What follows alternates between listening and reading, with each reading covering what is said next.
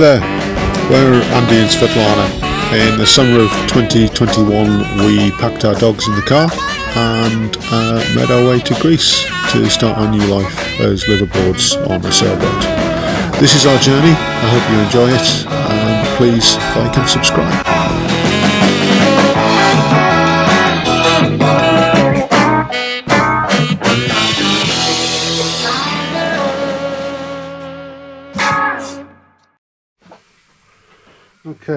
So um, we took the boat to Meganisi, which is about half an hour away for uh, the winter storms, and we got there fine.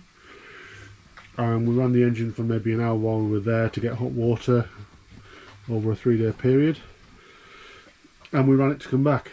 And we probably used about half a pint of um, coolant, and as you can see here we've got coolant in the bottom.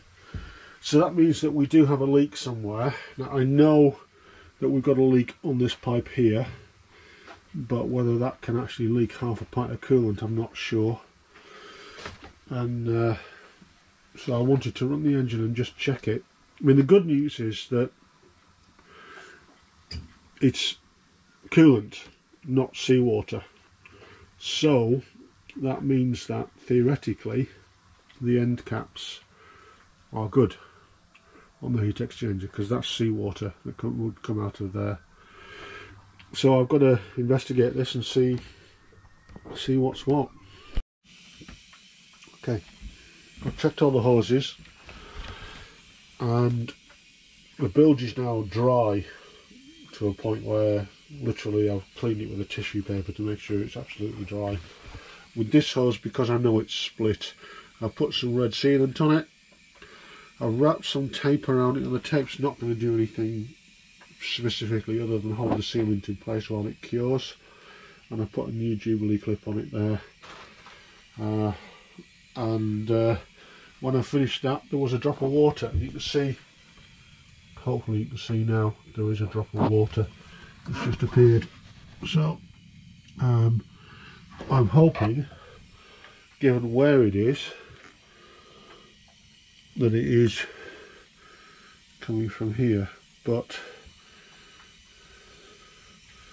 I'm still struggling to find any wet anything wet anything dripping. So I need to keep an eye on it and see if I can work out where that drop is coming from where it's running from before I start the engine. Uh, so yeah, so I'm to make a cup of tea and just sit and watch it. Well, I found it, but it's not what you think, because it's not at the front of the engine up here. It's actually here.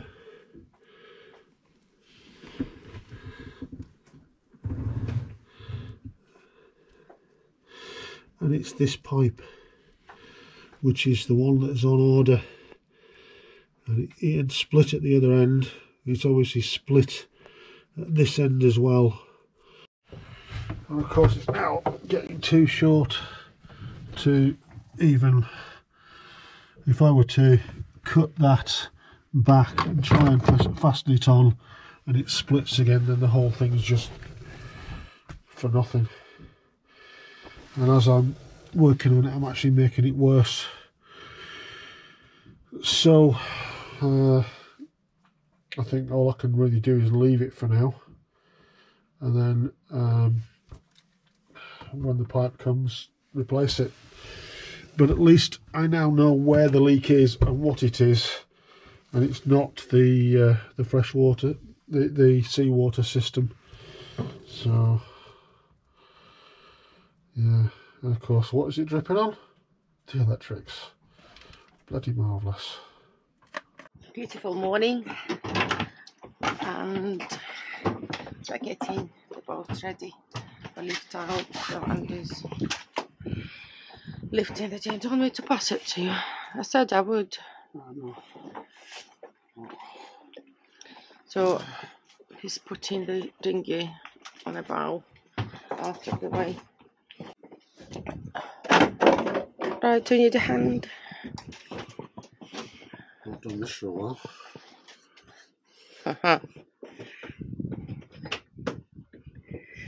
So it's exactly two years.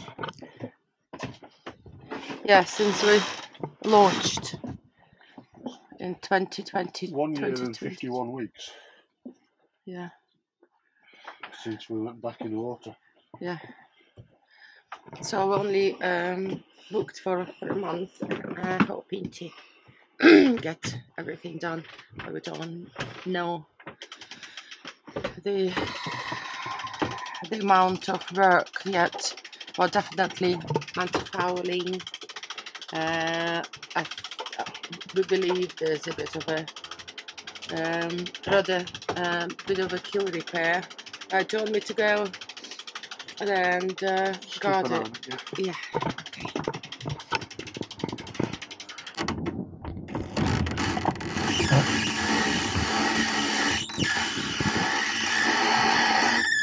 Shall we swap? Shall we swap? No, you can't do this. Is it heavy? Is it hard? Okay, keep going then.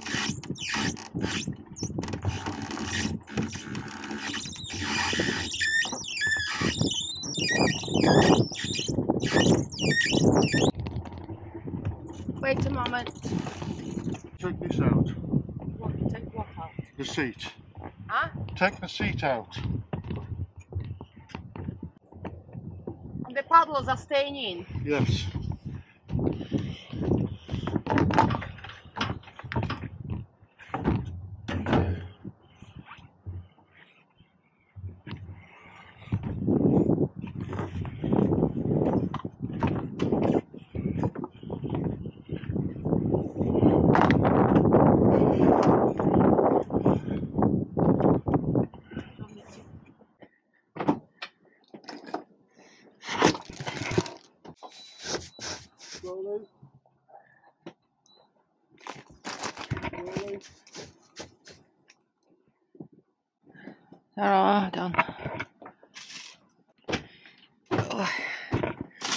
The wind's picking up again. Last time we lifted. Last time. last time we lifted. I had gusts blowing like hell as soon as we got there. It seems to be the same. It was very calm when we came here. Now the wind's picking up. With our luck. Right, shall we start the engine now? No, not yet. What else? I want, to, I want to basically leave the engine start to the very last minute Why? because of the lack of fluid. Right. What else are we doing? We're going to start with the winch. Windlass.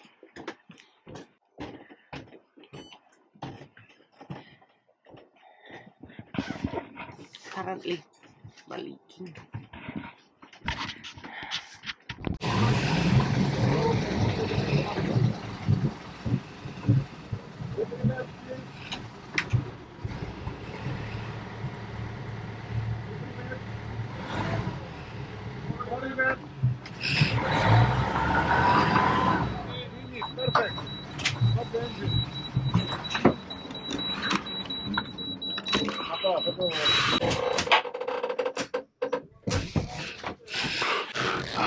Calimera.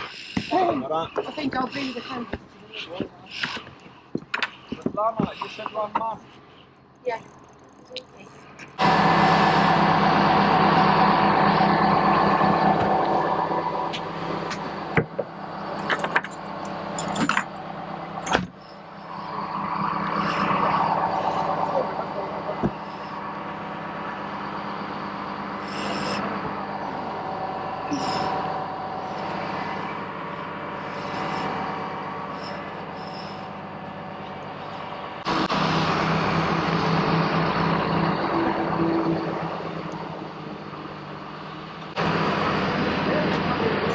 isn't it? I know. They've done it more than once.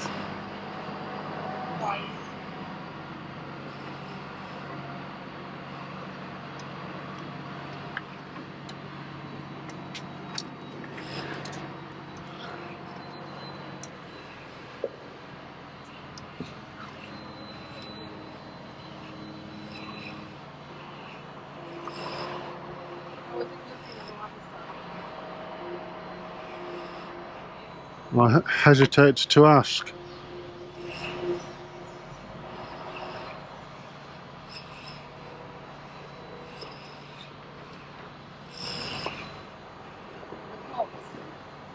We're close. Uh, we're close to this other boat.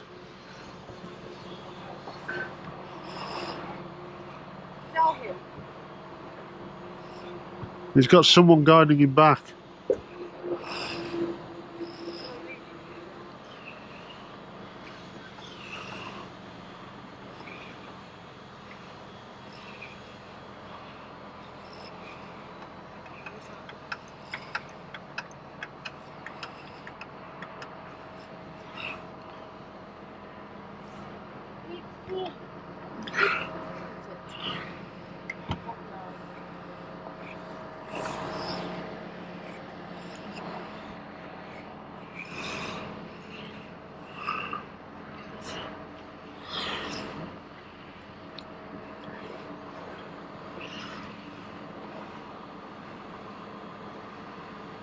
Inches.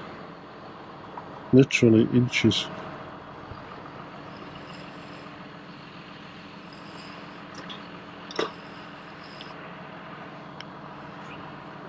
He's got cameras in the back. Uh huh. Hi.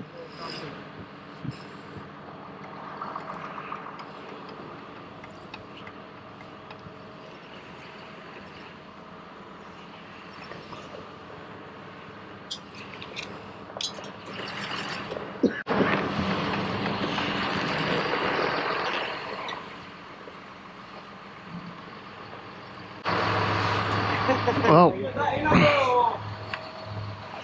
this is our home for the next two to three weeks.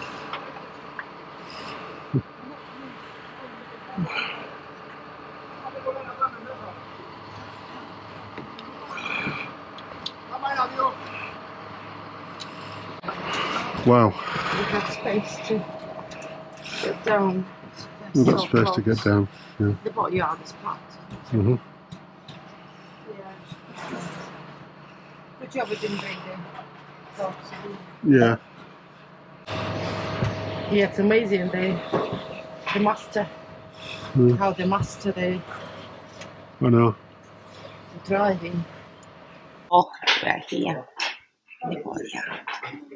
It's packed. So busy. Look how close we are. This side. Yeah. So I'm going to inspect the bottom. Oh. Ooh.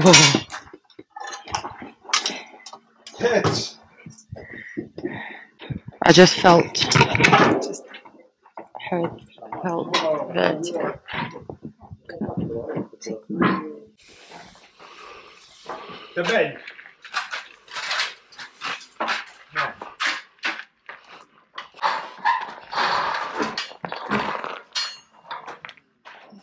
Mm. We thank you. pressure wash the boat. After Yeah. that, we let it dry and then we, we can uh, speak uh, what you need exactly. Yeah, that's brilliant. Thank you. Thank you.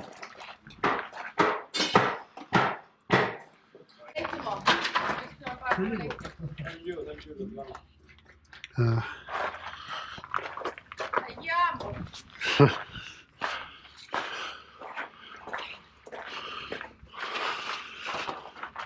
I was just saying that antifoul doesn't look too bad after for two years, does it?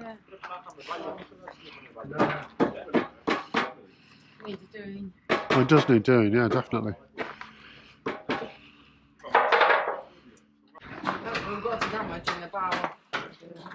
Yeah, the the bow the bow is just gel coat.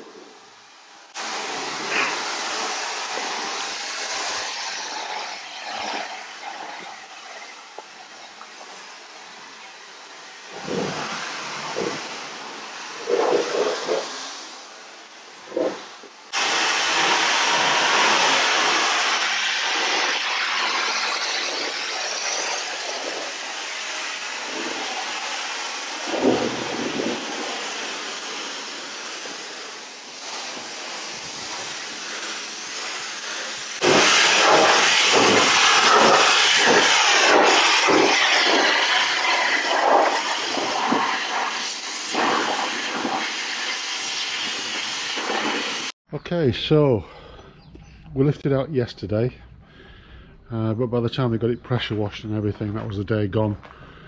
Uh, remember that wire that I reattached? Well, we've had an earth bonding issue. You can see here the P bracket is pretty much shot. So the yard has uh, said they're going to give me a quote to replace that. Uh, can make a new one in inox and stainless. Uh, but that means we've got an earth bonding issue inside. There's still no uh, conductivity between here and the anode, which is also pretty much shot. Um, no, the propeller is obviously protected, but uh, yeah, we've got an issue. So um, that's something that we've got to deal with. But today's job is to deal with a through hull which I'll show you in a second. So I don't know if you remember, but uh, when we were dealing with the uh, water leaks, uh, I saw that this pipe was leaking here and dripping down onto this seacock. And uh, yeah, this is the handle of that seacock. It's rusted through. So I was right, we definitely do need to change it. So that is today's job, is to get this pipe off and uh, get this seacock off so that we can get a replacement uh, and work from there. So I want to get it done now as early as possible because uh, we need to um, order one or anything like that. It could delay what we've got to do. Uh, and that, yeah, this is the only seacock that I can find that is uh, seized and needs to be dealt with. So, yeah, we'll work on that. Okay, so the through hull is out. I had to angle grind it out, of course. So I had to cut through it and then cut the bolt off. So this is the the hull fitting itself. Uh, this is what's left of the seacock, which is frozen shut and then this is the replacement so uh, what I've got to do now is uh, this bit is the bit that goes through the hull and uh, it sort of bolts in so I've got to make sure that this hole is clear of the old sort of Sikaflex before I start. Uh, so that's the next job is to sort of just uh, clean that up. Uh, and then once I've done that we can uh, we can flex this in and bolt it down. And then uh, this is uh, what I'm using to to seal it which is the 3200 uh, which is designed for above and below the waterline. Uh, and it's in white so we should be good with that. So we'll give that a go. Uh, as I say first things first got to clean the clean the hole.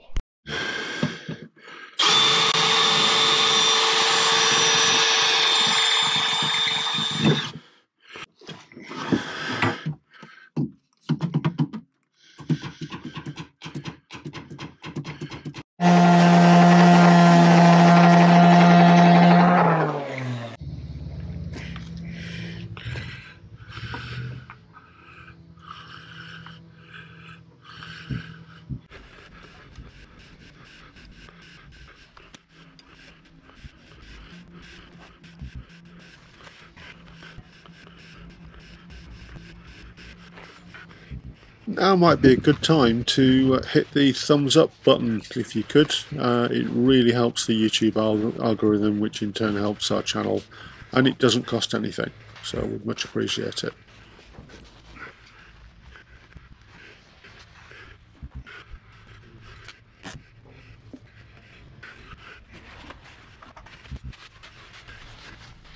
Okay, so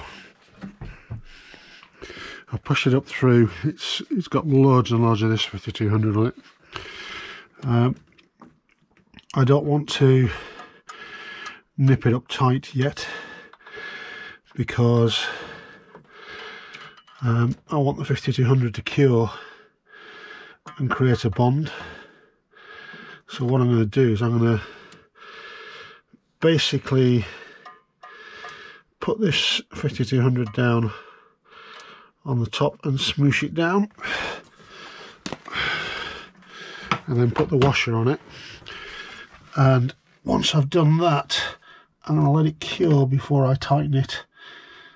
Uh, and that way the uh, 5200 becomes a seal as well. At least that's the general idea. So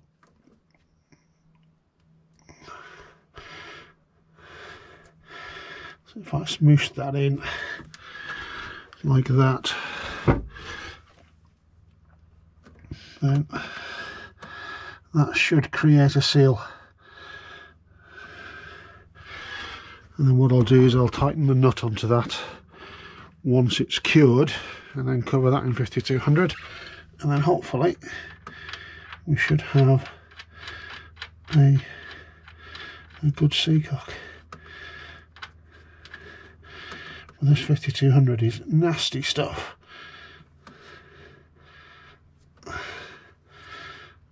So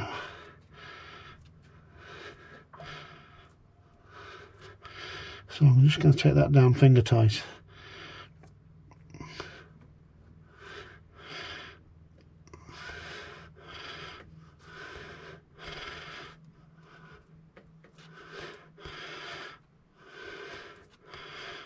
There we go.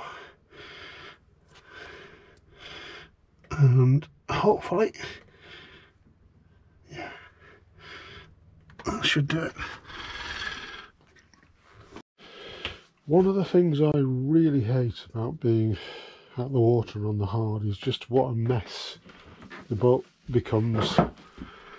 Um, I can't put the floor down because I need to finish this seacock and I can't fasten the seacock in until the uh, 5200 cures so that's going to stay like that.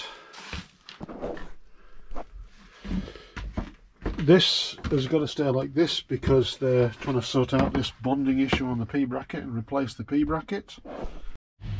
I started wire brushing this to see what the state of it is and the wire brush, the battery on the drill has gone so the drill's on charge which also means I can't wire brush this. I've taken the anodes off but I can't put the anodes back on because they've got to drop the shaft for this deep sea seal and because this corroded P bracket needs to come off so that they can uh, replace it. On work on this, this is where the anchor has chipped a piece of gel coat out and I've uh, started grinding it out and all of a sudden found this void and uh, popped a blister and water came pouring out. When I when I say pouring, I mean pouring. Uh, lots of water came out. And so this has got to dry, uh, and I've got to chase this void back and fill it. Uh, but I can't do that until it's dried. So I guess the next job I can tackle is this, where we scraped the keel here and here, and uh, just try and get that shaped again. So uh, yeah. Frustrating isn't it? Well that's it for another video guys. Thank you very much for watching. Hope you've enjoyed it. If you like what we're doing hit the subscribe button and notify so you'll get notified of our new videos. Uh, why not take a trip over to Ko-fi uh, or Patreon? If you're on Patreon and you're a member you get to see them a little bit earlier. But thanks for watching and we'll see you all next time